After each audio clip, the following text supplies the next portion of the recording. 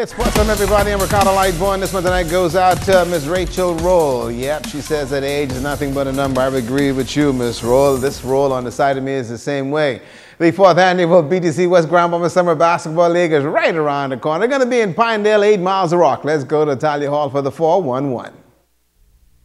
Coordinator of the fourth annual BTC West Grand Bahama Basketball Summer League, Ross Burrow says, growing up, tournaments such as these were a part of the Pinedale community, and that is why it was important for him to continue the tradition. He says this league is expected to be a good one. As every community in West Grand Bahama will have three teams a mini, a junior, and a senior team. This season, we will give special attention to the mini teams, our primary school kids, to further develop their skills and improve their knowledge of the fundamentals of the game of basketball. So far, we have teams such as Boyd Control Rebels, Spartan Titans, Bellevue Bulls, West Star Stackers, CLC Tigers, Candies Wolverine, Starter Specialists, Utmost Bad Boys, GB Dental Cleaners, just to name a few. BTC's Vice President of the Northern Bahamas, Eldry Ferguson Mackey, says corporate companies should always give back to the communities that support them. We were actually at a community event um, several months ago, and we met with the tournament organizers, and they said, "Hey, by the way, um, BTC, are you going to commit to our event again?" And they started to talk about the event, and they started to talk about how meaningful the event is to this community. And of course, it's very difficult to say no um, to organizers like that, especially when you see the level of commitment that they have. So we just want to say that it's important. If you look around on the basketball court, most people probably won't be able to find Fritz Forbes Williams um, basketball court, but this shows you the extent of BTC's reach in, in this community. We want to thank corporate sponsor BTC, who for the second year has come through for us by providing such gifts such as cell phones, phone cards for fans and players. Also special thanks to our newly elected Member of Parliament for providing the trophies for the players at the end of the at the end of the start of the league. Now the league will begin on June 15th and will end on August 26th nightly from 7 p.m. to 10 p.m. on the Buddy Hield Fritz Forbes basketball court. Italia Hall, ZNS Total Sports. All right, kids, make sure you have your off and anything else down there. You're back in the bush, buddy. Let me tell you, there Ruby Walker's on the links at Ruby Golf Course, and Greg Maycock yesterday shot a 2 over 38 on uh, Hanford Bain with a 3 over 39. Greg uh, Bow with a 41. Marcus Hill leads the competition, folks, with 33 points. Hanford Bain is 26. Uh, Greg Bow is 25. Greg Maycock sitting there 24.5. Mark Knowles with 12. Allison Stewart has 9.5 points.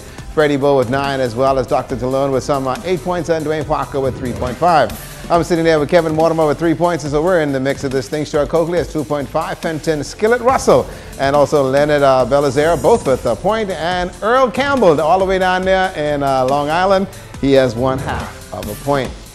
Well, let me tell you that the Bimini Regatta Committee is also making uh, this year's event a three-day one for you for some sailing and an awful lot of fun. And I tell you, it should be an awful lot of great time down there as well. We have this report coming for you. Let's go to it and tell you exactly why Kimberly Mullings wants to go to Bimini.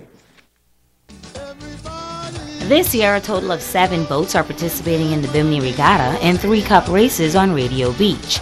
Committee member Malachi Dean says the participants hail from various islands. WG Thunderbird out of Andros will be coming along with the Dream Girl out of Freeport, the Uncle John out of Acklins, the Mesa B out of Mangrove Cay, the Fragger out of Acklins, and the Lady Eunice from Black Point. The first race is scheduled for Friday with two races on Saturday.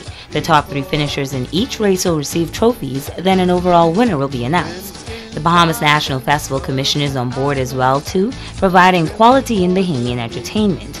CEO Roscoe Dames says it is a pleasure to be wrapping up the 2016-2017 season in Bimini. The entertainment for the weekend, Irish Store and the Spank Band.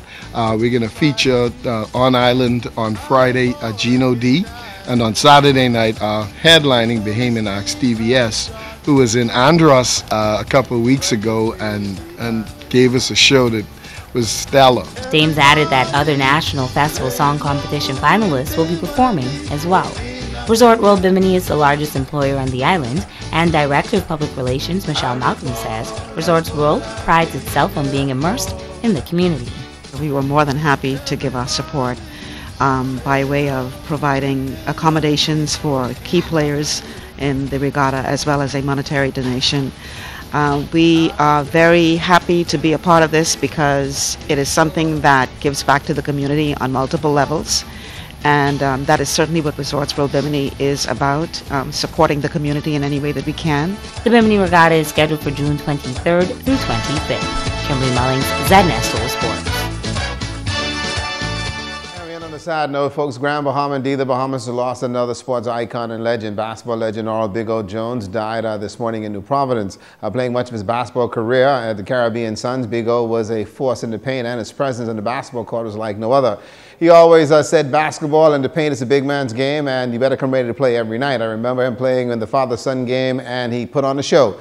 Big O was a gentle giant, and I never raised his voice, but always a gentleman off the court. But on the basketball court, that's another story. Big O uh, passed this morning at 3 a.m., and yes, another Grand Bahama sports legend is now gone. He was 51 years young, and our condolences extended to his family and friends.